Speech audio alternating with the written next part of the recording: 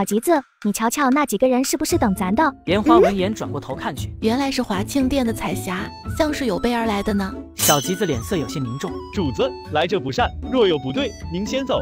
贵妃位高权重，又执掌后宫，躲是躲不掉的，终究有一日会碰上。为了主子的安危，得去找万岁爷才行。莲花摇了摇头，思考片刻，故作高深道：“来都来了，会会又如何？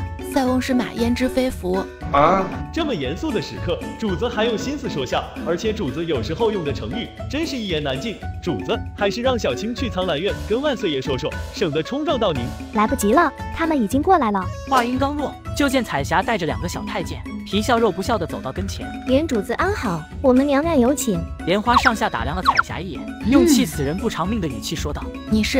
啊就在莲花跟彩霞玩心眼时，在苍兰院里。皇帝都等成望夫时了，再等下去都该来晚膳了。那小妃嫔怎的还没回来？万岁爷，奴才派去的小太监回话说在回来的路上了。只是，只是什么？在御花园的小道看见了华庆殿的彩霞，带着几人守在莲主子回来的路上。嗯，原来如此，想来是薛贵妃的主意。张庆，你派几个身手好的护卫过去盯着。张庆点头应下，哈，奴才这就去安排。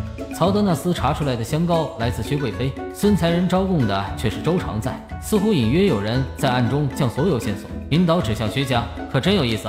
再说御花园这边。彩霞被莲花这副模样气得不轻，硬生生扯出一个僵硬的笑容。莲主子真是说笑了，奴婢是谁不重要，重要的是贵妃娘娘对您很是关切，在华庆殿已等候多时，您到了便知奴婢没有骗您，还望莲主子能赏个脸，去华庆殿与娘娘一叙。彩霞特意将等候多时咬得极重，然而莲花却是哦的点点头，用满是不赞同的语气说：“哎呀，你这奴婢怎的不早说？耽搁了大半日，贵妃娘娘降罪可如何是好？”彩霞气得差点跳起来，小吉子二人则是在旁边辛苦憋着笑。论其人的功力，若主子说是第二，那就没人敢称第一了。彩霞憋着气咬牙说道：“莲主子，请吧。”莲花有些失望的叹了口气。华庆殿的宫女就是不一般，比李美人的强多了，竟然不接茶，可惜了。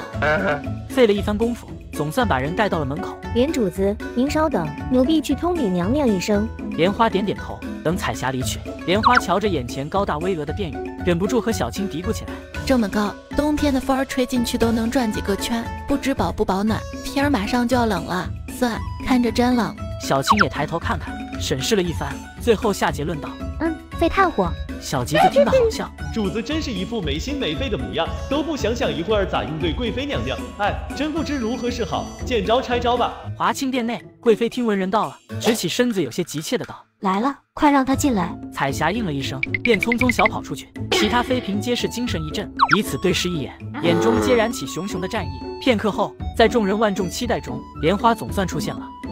嫔妾见过贵妃娘娘。贵妃瞥了莲花一眼，挤出一个笑容：“起来吧，莲妹妹能来，真令本宫的华庆殿蓬荜生辉。”莲花能觉察到头上落了很多道探究的目光，淡然的起身，抬头左右望了望，观察了正殿一周，笑盈盈说道：“娘娘，您的殿里头刻画雕彩，锦瓣珠帘，确实光彩夺目，十分贵气。”啊，这莲美人到底是真傻还是假傻？每次冒出的话都让本宫不知如何接下去。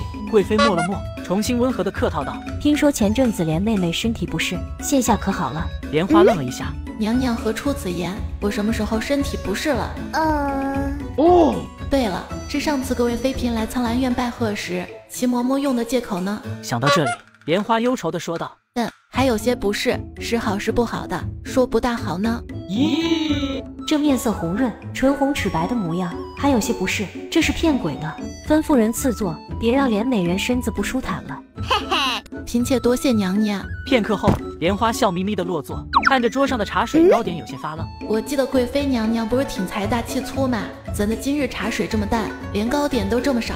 哎，看来这年头连贵妃日子也不好过，要节衣缩食起来。莲花抬头望去，瞬间觉得贵妃就连钗子都不如以前贵气了，于是露出一个同情的眼神。贵妃一直关注着莲花，瞬间看懂了她眼中的同情。心中不由得怒火中烧，这连美人看落魄户一般的眼神看本宫是什么意思？该死的，又盯着本宫头上的钗子作甚？本宫这头上的钗子可是孤品，还有一副怜悯的样子看着茶水作甚？莫不是以为本宫舍不得放茶叶吧？贵妃气得心口发疼，脑仁突突直跳。这时。不待见莲花的假才人率先开口讽刺道：“莲美人真是好生朴素节俭，头戴的绢花连品不算，身着的衣裳还如此朴素无光，无半分刺绣，真真令人敬佩。”莲花看向下手的假才人，脸有些熟，却有些记不清了。你是？不等假才人出声，莲花接着说：“呃，想起来了，你原来跟在流霜殿的李美人后头吧？我记得你原来是假妹妹，失礼了。”啊！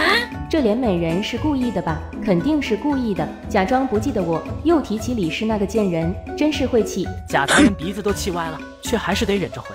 正是嫔妾，急于扳回一城。贾才人又道：“不知连美人这身行头是哪做的？实在太过敷衍了事。嫔妾不才，对衣裳做工略懂一二。若是连美人有需要，嫔妾可以教你一教。”莲花摇了摇头：“我也不清楚呢。”哎呀。现在宫里头的娘娘要求这么高吗？连这身万岁爷送的衣裳都觉得朴素无光，那往后这假才人是不是得在身上挂几个大灯笼才够敞亮啊？假才人嗤笑出声：“ 连美人莫不是让底下的奴才置办的？可别被奴才糊弄了。”莲花听到假才人说手下人，顿时不乐意了：“不劳贾妹妹操心，心中有鬼才疑神疑鬼的。